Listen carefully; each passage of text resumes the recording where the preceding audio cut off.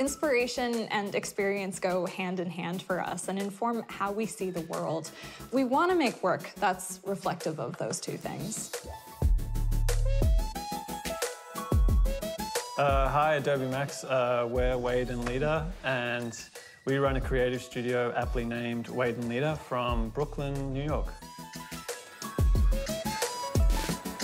We're also married, so even before quarantine, it's been like this all the time. And we do everything together, um, from cooking to jogging to drinking to working. We like the same things and sometimes we wear the same clothes. Um, and yet we're from two entirely different countries uh, on opposite sides of the world. Our worlds were so similar, but it actually took an algorithm to bring us together. Wade and I met on an online dating website, and we were both engrossed in our own work lives and focused on our own goals and futures, but that quickly changed when we met each other and we realized it was way more fun for us to do those things together. And once we found each other, we realized there were so many more things that we could do and share together. We found connections in art, architecture, books, fashion, food, the general things. But we also found a fondness in our ability to find random things on the internet, like this beautiful image. And we found our love for reinterpreting these things. So, for context, in the early stages of our relationship, we started this personal project called Compliments. It's this portrait series exploring our relationship and the universal strangeness of love and the things that inspired us. Together through doing this, we found better ways to understand each other, and we found our own ways to be vulnerable, to help our love grow, to be honest and true and open with one another, and to trust without fear in order to build greater things, not only in our relationship, but also in our projects too. And we found that we could push each other for better results. We could be true with our opinions without having this fear of failure. And it helped us navigate our mutual love for creating, and it gave us this starting point for making more creation moving forward. And eventually we found that our work and our lives have truly become intertwined. There was no separation between the two. With success of one, we'd use it to push ourselves within the other. Our work makes us happy and it keeps us healthy and it keeps us active at the same time, and it's very much our way of life. We found our comfort zone and then we figured out how to escape into the world of it together. And our relationship has grown over the past seven years. We have found ways to continuously build and also evolve this open world with one another. And one that feels kind of like our own paradise of color, shape, and pure joy. Inspiration and experience go hand in hand for us and inform how we see the world. We want to make work that's reflective of those two things. And from the travels that we used to, hopefully will continue to take, to the TV shows that we watch, to even the video games that we play, we want to make work that reignites all of these feelings, like that feeling you get when you beat a hard boss on the top of a mountain in an RPG game, or the pure ecstasy of knowing you can eat as much ice cream as you wanted for your birthday.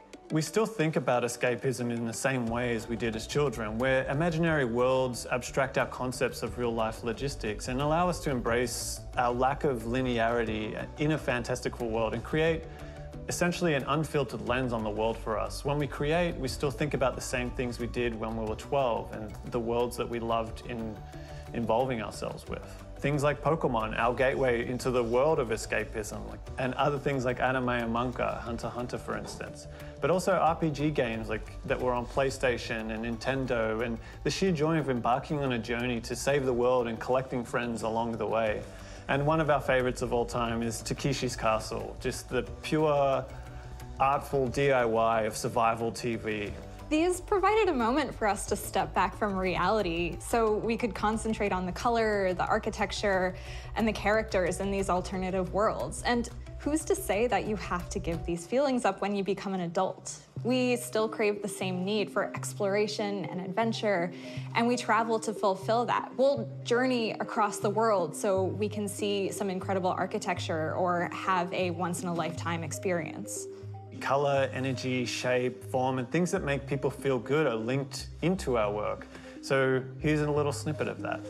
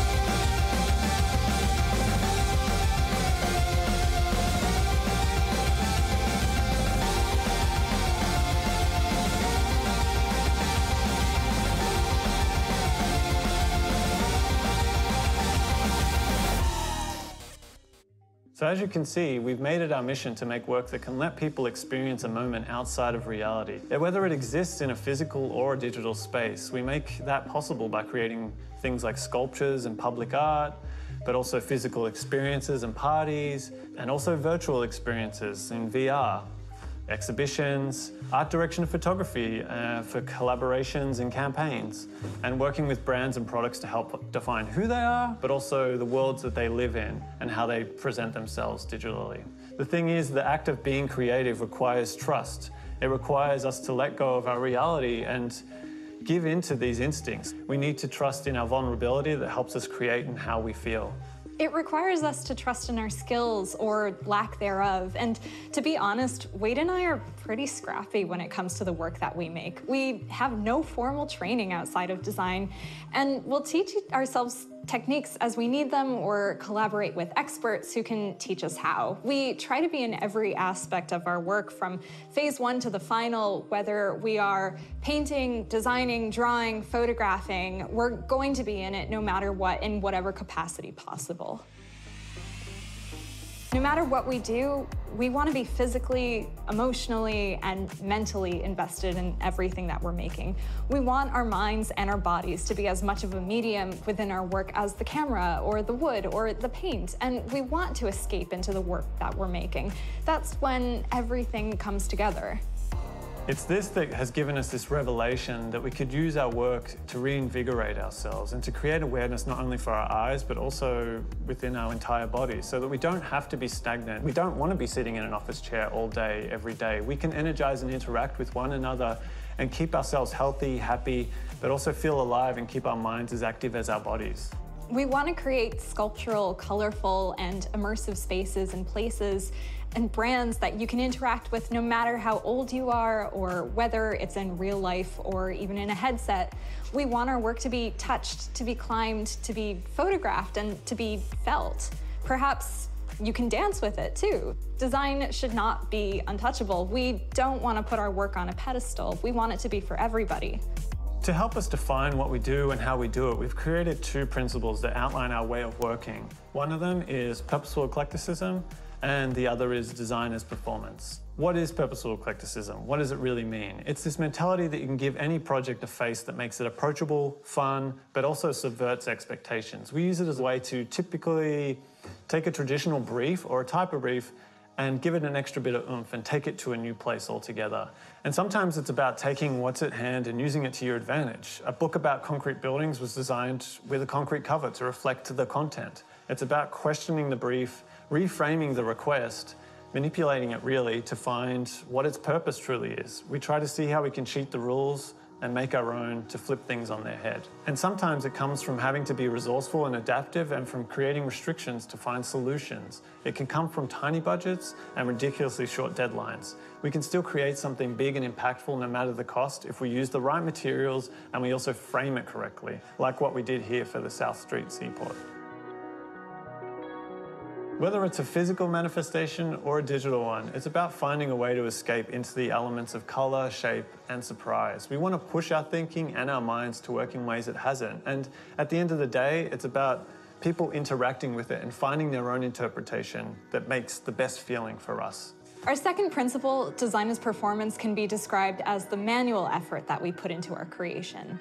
Oftentimes, when we make something in our studio, we work with really simple materials that are cheap and easy to manipulate. And so for design as performance, we see our work as something that invigorates and exercises us, and it keeps us youthful and helps us balance this childlike wonder and excitement in our work. Because of that, a lot of our work is very physical. We use our own bodies out of necessity, and when we have an idea, we challenge ourselves to be as self-sufficient as possible to get the right shot. But we have to stress that this is not out of vanity, but oftentimes out of necessity. Um, with working with each other for so long, we really know how to direct each other to get the right shot.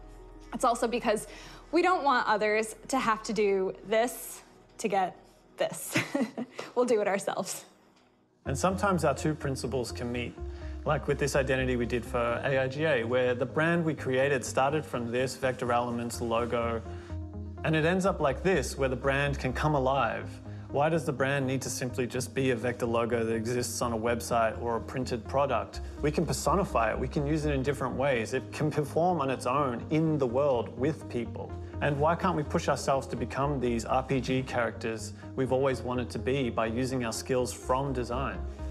Design as performance doesn't exist only for us, though. It can bring people together. It gives people this opportunity to embrace one another and acknowledge that we're all in this together. Our work, it's for everybody. It's not meant for just one single person or for our own personal pursuit. It's about exploring ways in which people can interact and be enveloped in our own worlds and also possibly inspire people to make their own. We're always looking for a way to add interactivity to the work that we're making so that we can find this new path, whether we're the ones making it or we're the ones experiencing it, such as this maze that we made where people could get lost and be enveloped in these worlds of color. And that interactivity can come at the end, but oftentimes it comes right at the beginning when we're making things from scratch. We want to have a hand in everything that we're creating. As such, everything you've seen, it's created by either the two of us or maybe just a small team. And perhaps you're wondering, Wade and Leta, why do you paint it by hand? Why sand and cut and glue when you can just hire somebody and watch from this imperfection in our projects? Whether we build it from the ground up or we photograph it on a set, we feel that when something is too perfect, it becomes forgettable. And that's why we make it by hand. We enjoy the faults and we embrace the differences. Everything feels more human that way, and that itself feels purposeful and eclectic in our eyes. It reminds us that we're a part of a bigger world. We have this opportunity to create a different culture that you can adapt to be a part of your own. We create our work so that we can further relationships and this optimism of human potential. We can share our escapism with others so that others can find refuge in our own worlds and feel inspired to build one of their own. If you can believe in something, we can find positivity in the situation at hand. Sometimes we want to avoid the bigger picture. The world is changing all the time. This year is very different from years before it. Life happens very fast, and we need to embrace these special moments and focus on what's in front of us rather than what's happening around us. We need to remind each other to stay positive and to think of the small pleasures that keep us hopeful. Our relationship and our love keeps us optimistic and hopeful for what's in the future and knowing that the future will be bright, no matter where we are or who we are with, because it's always a team effort. Design and creativity are not about this heroic solitude. We don't need to operate that way. There's, there's always someone there who will be supporting you. And with Leta and I, our input has always been so strong into the other's output. It's almost like everything was connected to the other partner from the very beginning. Our work and our lives are intertwined and our dialogues are constant, always constant. And we push each other to new avenues that we'd never thought we'd go before. And like a building, your foundation has to be strong because if it is, you can build anything together. Cool. Thank you.